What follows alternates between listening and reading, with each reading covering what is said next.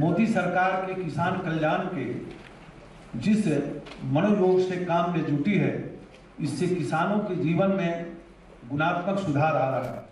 मोदी सरकार ने देश के विकास के लिए इन तीन वर्षों में देश के सामने नई कार्यविधि, पारदर्शी कार्यशैली के नए प्रतिमान रखे हैं।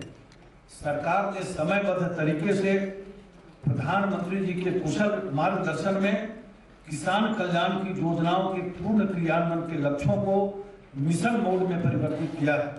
सुशासन के नए आयामों, नवाचारों एवं सुधारवादी दृष्टिकोण से एक आधुनिक और भविष्योन्मुख भारत की नींव हमारी सरकार ने रखी है।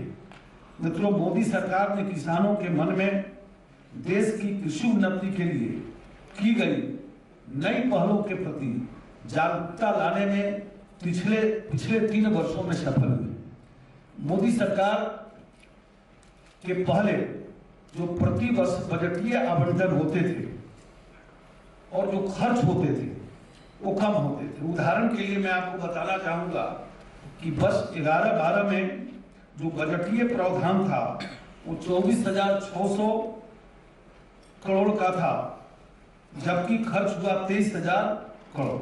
इसी तरह से बारह तेरह भी देखेंगे तो अट्ठाईस हज़ार दो सौ चौरासी करोड़ के बदले खर्चे हुए थे चौबीस हज़ार कुछ करोड़। इसी तरह तेरह चौदह में भी बजटीय आवंटन जो था, वो तीस हज़ार दो सौ चौबीस करोड़ था, लेकिन खर्चा हुआ मात्र पच्चीस हज़ार आठ सौ करोड़। लेकिन आप मोदी सरकार का भी देखेंगे, सोलह सत्रह का जहाँ हमारा बजटीय प्रावधान पैंतालीस हज़ार पैंतीस करोड़ रुपए का था, पैंतालीस हज़ार, पैंतीस करोड़ था, खर्चा संतावन हज़ार पाँच सौ तीन करोड़ का हुआ। और बजटीय प्रावधान में भी तीन वर्षों के अंदर यदि वृद्धि देखेंगे तो मोदी सरकार के पहले के तीन वर्षों में जो बजटीय आवंटन था, वो था एक एक लाख चार हज़ार तीन सौ सैंतीस करोड़ का। लेकिन मोदी सरकार आने के बाद चार वर्ष का। मोदी सरकार आने के पहले के चार वर्ष का जो बजटीय आवंटन इस मंत्रालय का था, वो एक लाख चार हज़ार तीन सौ सैंतीस करोड़ था। लेकिन मोदी सरकार आने के बाद इस साल को भी जोड़ के चार साल का जो हमारा बजटीय प्रावधान है, वो एक लाख चौसठ हज़ार चार सौ पंद्रह करोड़ है, जो लगभग 57.58 प्रतिशत है। इसी तरह से आप देखेंगे कि तीन वर्ष के काल काल में किसानों और ग्रामीण क्षेत्रों के जीवन स्तर में गुणात्मक परिवर्तन लाने का सतत एवं सशक्त प्रयास किया गया है।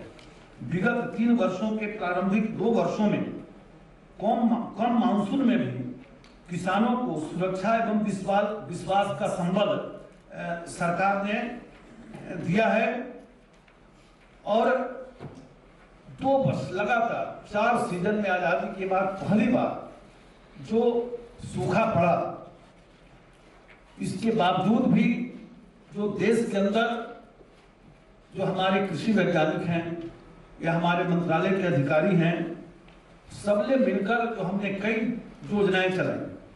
प्रधानमंत्री जी का उसमें मुख्य रूप से मार्गदर्शन था, जिसके कारण जो चुनौती आई थी, उसका भी हमने सामना किया। अभी कोई पूछता है कि मोदी सरकार के सामने सबसे बड़ी चुनौती क्या थी तो हम कह सकते हैं कि आज़ादी के बाद जितनी भी सरकार बनी